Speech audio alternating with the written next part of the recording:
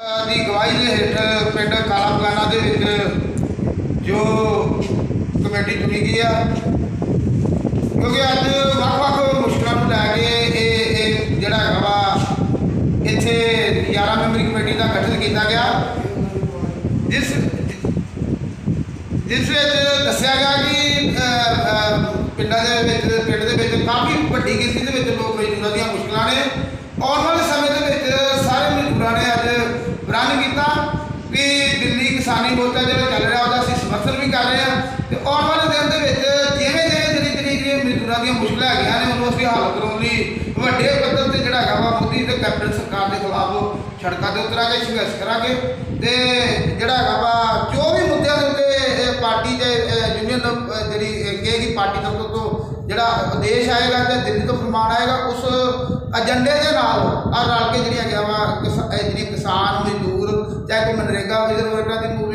Movie ਹੋਏ ਜਾਂ ਸਾਰੀ ਮਜ਼ਦੂਰਾਂ ਦੀ ਮੁਸ਼ਕਲ ਹੋਵੇ ਚਾਹੇ ਕਿਸੇ ਵੀ ਪ੍ਰਕਾਰ ਦੀ ਕੋਈ ਪਿੰਡ ਦੇ ਵਿੱਚ ਸਾਡੇ ਮਜ਼ਦੂਰ ਲੋਕਾਂ ਨਾਲ ਜਿਹੜੀ ਮੁਸ਼ਕਲ ਆਏਗੀ, ਉਹ ਮੁਸ਼ਕਲ ਦੇ ਨਾਲ ਅਸੀਂ ਵੀ ਖੜਾਂਗੇ। ਸਾਡੀ ਜਿਹੜੀ ਪਾ- ਜਿਹੜੀ ਉਪਰੋਂ ਕੀਤੀ ਕਿਸਾਨ ਯੂਨੀਅਨ ਜਿਹੜੀ ਆ, ਉਹ ਸਾਰੀ ਮਜ਼ਦੂਰ ਦਾ ਸਮਰਥਨ ਕਰਦੀ ਹੈ ਅਸੀਂ ਵੀ ਉਹਨਾਂ ਦਾ ਸਮਰਥਨ ਕਰਦੇ ਆ। ਇਹ ਦੱਸਦੇ ਆ ਕਿ ਪਿੰਡ ਦੇ ਵਿੱਚ ਵੱਡੇ ਪੱਧਰ ਤੇ ਵਿਕਾਸ ਕਰਾਵਾਂਗੇ।